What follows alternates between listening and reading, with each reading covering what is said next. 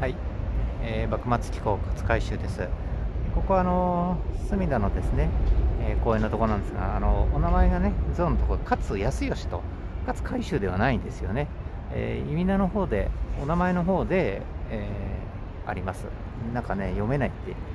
言ってる方いましたけど、まあ、あの普通には勝海舟の像って書いてあるんで、えー、そうかなと思ってくると実は違うと。まあ、本名というか、えー、名前になります。でこの方あの幕末のねあの活躍した中の人でも、まあ、特に著名な方で、まあ、特に坂本龍馬への影響が非常に大きかった人の一人ですよね、えー、まあ、この方を師匠と呼んでいたんでしょうかね龍馬を。そして、えー、あ龍馬についてはまた全然別に出してますのでそちらをご覧ください、え龍馬というよりも、ま、この凛太郎って呼ばれてたこの勝海舟ですよね。かつ最初阿波って呼ばれてその阿波のその青を取ったんだと思うんですけど、まあ、よしっていう字はね通じでもないんでちょっとどういう意味でついてるのかちょっと分かんないですけど、まあ、一般的にはですね、えー、2つ回収ということでおそらくあのー、学問をねやっぱりあのどの方もそうですけどすごい好きで、えー、要するにこの方の修行時代っていうのもねなんかあんまり取り上げられることがない、もう、えー、龍馬とか出会うとね、やっぱり主人公としてね、描かれないと、その辺も出てこないと思うんですよね。やっぱり幕末といってもですね、やっぱりその修行時代、幼少の頃から生い立ちからですね、話していくような、やっぱり大河ドラマの主人公として、いつか見てみたいですよね。だから、あのもう幕臣としてですね活躍始めた頃に、え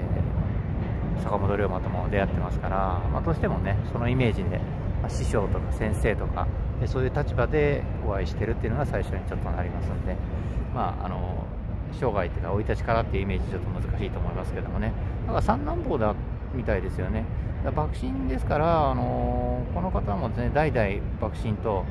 いうことではなかったみたいですけども、まあ、あの父祖父の代ですか。はあの農家の出だったみたいですよねだからあの、まあ、この時代というかその江戸時代通してみればですね元百姓とか商人とかそういう人が武士になったっていうのは別に珍しいことではないんですけども、まあ、数々のですねそういう修行を組んで、まあ、この方から言えばですねやっぱりあのこの方もやっぱり師匠と呼ばれる前に修行した時代にですね、まあ、師匠山賀祖公とか、えー、そういう目指した方というのはいたと思うんですよ。まあ、あの軍学とかねあのすごく勉強熱心な方だったみたいですから、まあ、そういう意味ではいろいろな方と巡り合って、えー、基地を築いていったんだと思いますね。修行時代のことはですね、まあ、ちょっと詳しいことわからない部分あるんですけども、まああの佐久間象山とかねあの幕末に活躍した人たちの名前を出すと大変多くなってしまって関係者も非常に多いですから、まあ、基本的には江戸のですね幕府の幕臣として最後まで活躍したということになりますよね、まあ、渡米もしてますし、まあ、海外へ目を向けてたっていうのは最初から結構勉強してた時からですね修行時代とか若い頃からあのそういう思想というか希望があったみたいですよね。やっぱりあの軍学とかね言ってもやっぱりあの日本の狭い中ではねなかなかっていうところででこの方やっぱりあの神戸とかあのはじめあの軍艦ですよね。軍艦分業えー、軍艦のことをですね、まあ、扱うと、えー、いう方になったので、まあ、精錬所の話ですとか、まあ、神戸と江戸、まあ、あとは長崎とか、まあ、日本ではいくつか話すところはあるんですけどもちょっとねあのこの方も結構地域によってこう、ね、龍馬たちとか一緒に活動していた時期もあるし、まあ、江戸でですね本当に幕臣として、えー、活躍していた時代それと江戸時代の後ですよね。のこともありますし、まあ、ちょっと江戸時代になったっていうともうどちらかというと晩年になってしまうんですけど、えー、この方は江戸で亡くなってると思いますんで、まあ、あの無血解除でね有名な、えー、階段がありますけども、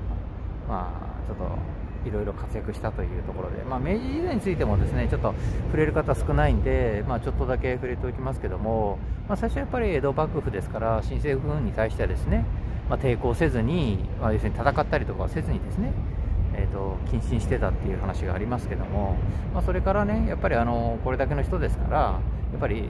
新政府軍というか、まあ、西郷隆盛とか大久保利通とか、まあ、なあの知り合いというか親交のあった人たちからですねやっぱり、許されてっていうかその人たちを通して、まあ、新政府軍にはですね、まあ、結局赦免とあの要するに罰を受けてないですからね。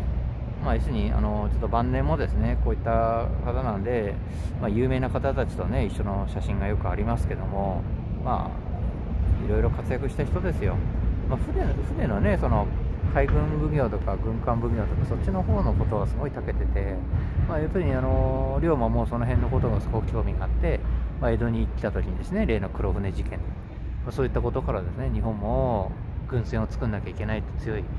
軍艦を作らないと海外に負けてしまうともう一気に視野が世界に広がったわけですよ、まあ、この方はもう本当に最初からそういう目で、まあ、幕府もこれじゃダメだと。幕臣なだけにですね中から腐ってしまってるようなことじゃダメだと。新しいものを取り入れるなりもうとにかく改革改革というところだと思うんですよね。まあ、そんなことでですね、まあ、こちらに立派な像が立ってるんですけど、勝海舟先生、ちょっと順を追って話してもかなりの、えー、長い時間になりますんで、また考察も含めて動画も出したいなと思いますけども、まあ、やっぱり現場気候あの非常に好きなんで、えー、と現場でですね、えー、まあ、もちろんここもですね、まあ、墨田区、えー、ゆかりの地ですからここに立ってるわけですけどあの意味なく立ってるわけではないですからね、